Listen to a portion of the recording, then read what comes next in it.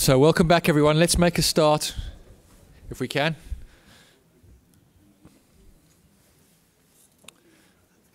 I hope you enjoyed the break um, and had a chance to get some good discussions in. I'm looking forward to this next session. It's always good to get uh, feedback and an insight into what's happening on the ground in different uh, different territories, different markets. So we've we're very pleased to have uh, a few key players join us to take us through their experiences um, and, and, how they see the DF business developing in, in, the, in the markets that they operate.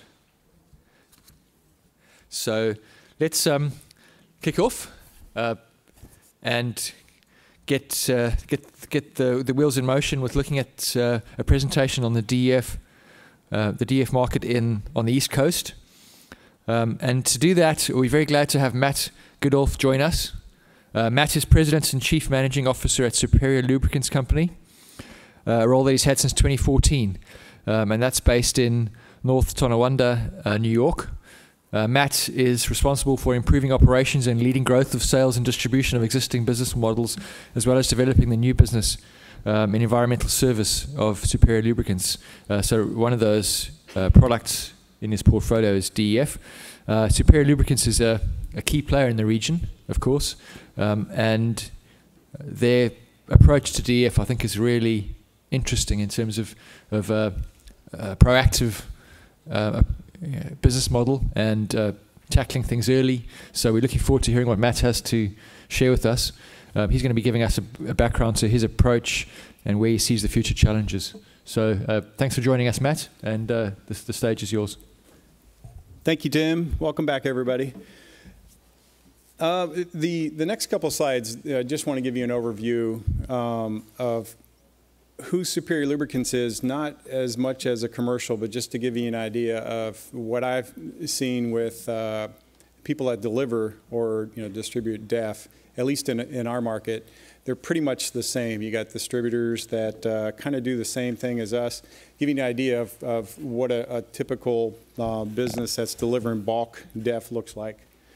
Um, so we have um, basically four key bulk um, product categories. And, you know, some of them are more commoditized than others, but, uh, you know, the, our biggest category that we deliver is lubricants. You got antifreeze, you got washer fluid. Uh, washer fluid is, is very volatile, obviously, with methanol, which is, um, you know, how we manufacture our washer fluid. And then diesel exhaust fluid. Um, these are all bulk products as you can see, the the other interesting piece, and I've seen this in, in our market a lot, is you have your major brands with the key, you know, washer fluid, antifreeze, and lubricants. Um, and on the DEF, it's not as much about that. It's more about the spec and high quality product. That's really what seems to matter, at least in our market, more than anything. We also have another division, um, a company called Ecomax, which is an environmental services. And that way we can offer a, a total closed loop to all of our customers. Um, we we target you know four key customer segments. So we're in automotive, you know, commercial, heavy duty, industrial, and, and government accounts um, every single day, delivering bulk products. We also have just another idea uh, from other distributors that we compete against.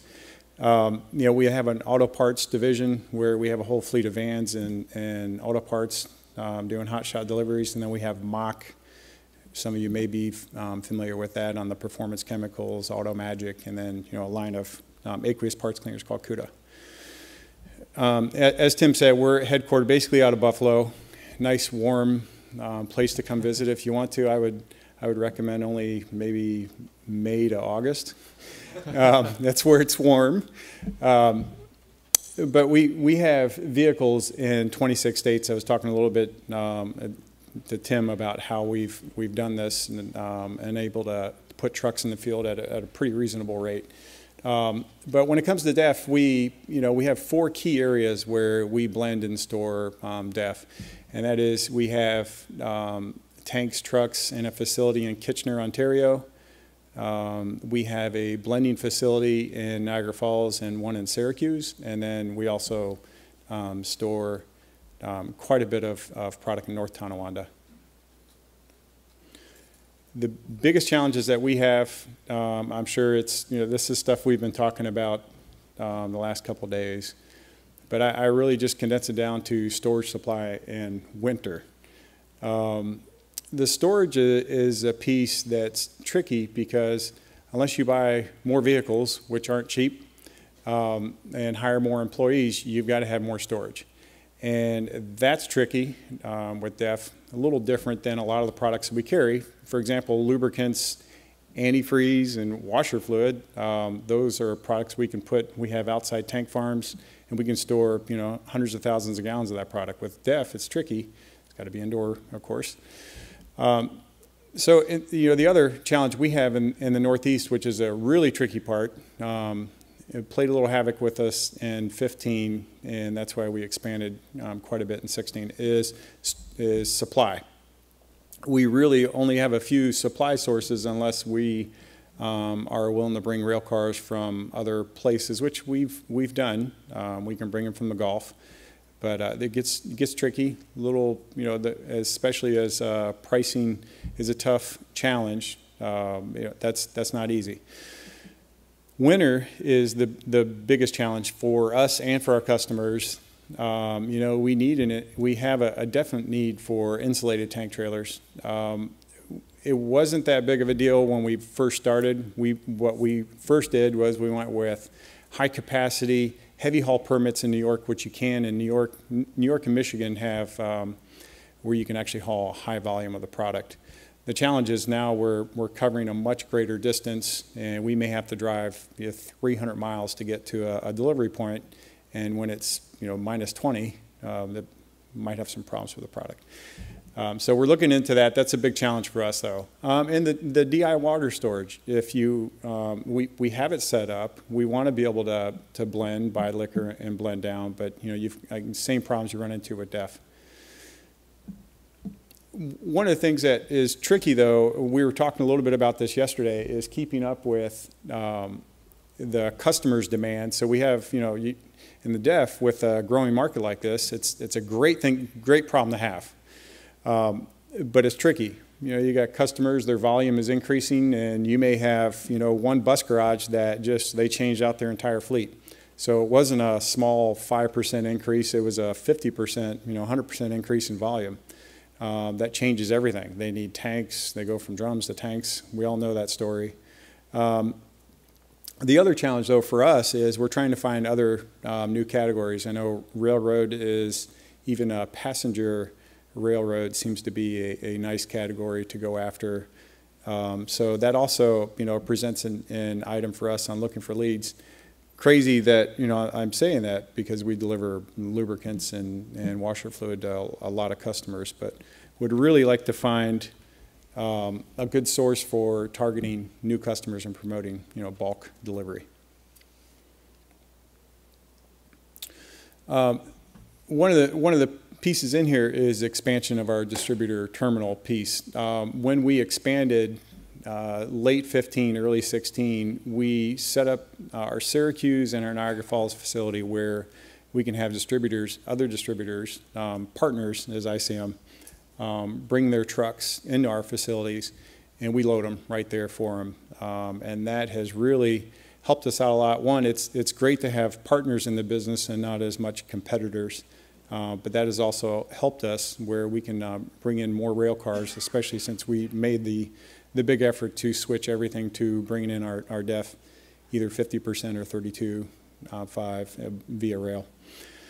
Uh, one of the, our big challenges and, and, expectations for us to continue growing, I know I'm just talking about bulk and all that stuff, but you know there is, there is a, a tight challenge when it comes to supply and getting DEF packaged we do have customers that want you know the packaging in the, either the retail store or um, in the parts department, and it, that's not an easy thing to get. Fortunately, we're Canada's not that far away, and we can get some really good packaging sources up there. But that's something that we're definitely looking to.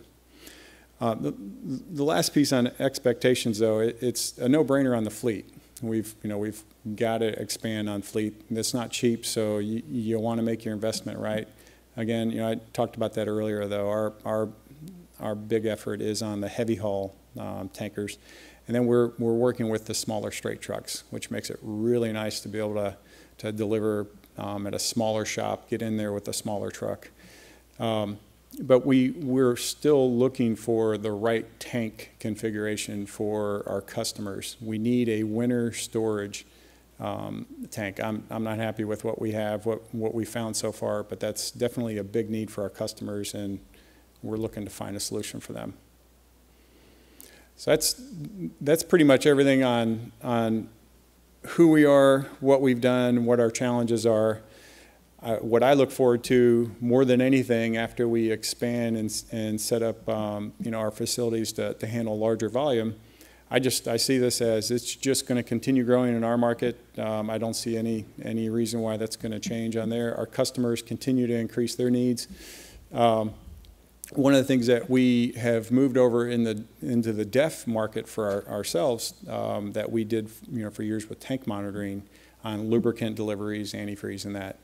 Um, so I've heard a lot of talk about this week on monitoring. Um, when I speak on monitoring, I'm, I'm thinking of a, a, different aspect on this and strictly knowing what the volume and temperature is of that product in the tank. Um, this, this is a great service that we offer our customers where they can log in and they can see what their volume is. They can even get alerts if they know they're getting down, getting low on it. Um, but for us, it's, it's really the key to everything for us. If we want to keep from buying you know, any more trucks and hiring any more drivers than we have to, um, it's going to be all about logistics.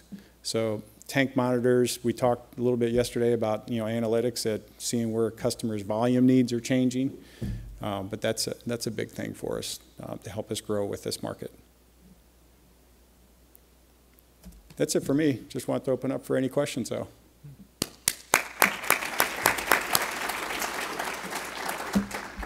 Thanks, Matt. I'll start with a question. Uh, could you elaborate, uh, explain in a little more detail?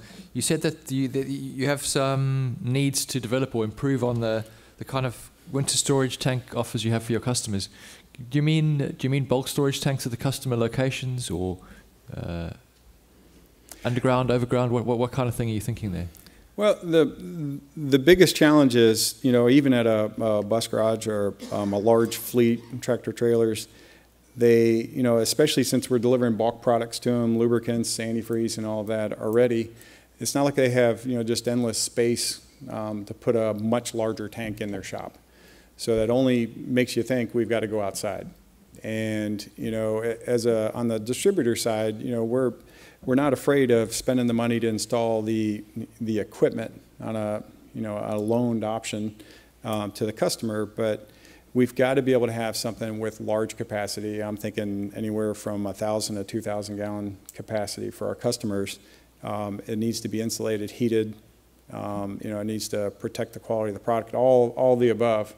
And that's uh, unless you. What I've seen is the cost range is is wide. Mm-hmm. Very, it can be very expensive, and I'm more concerned with how do we protect the quality um, of the product for the customer at a reasonable rate. Mm. Good. So, uh, anyone have any questions for Matt on uh, the way that the market's working up there on the East Coast? Any questions? While you're thinking, I have another one.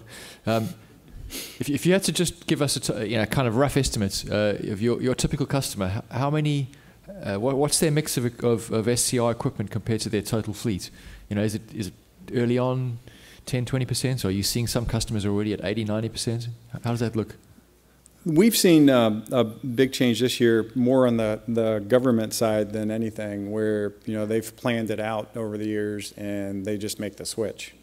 And so you're you're talking where they may have one or two vehicles in their fleet, and then they go into, you know, they replace it all, where they're 80, 90 percent of their fleet. Right. Um, the the only time I've seen it where the numbers are high on the fleet that they have, you know, they've converted a lot of it is your large um, national fleets, where they absolutely they're going to you know they made the decision they planned it way out.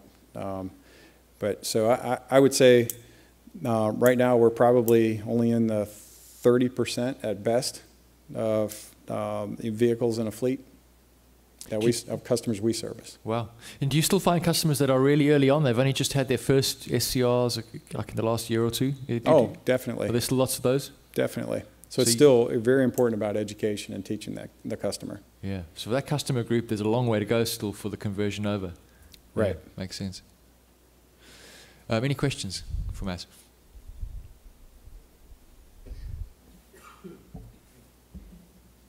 Okay. I think right. uh, that you. sums it up. Thank you very much, Matt. Mm -hmm.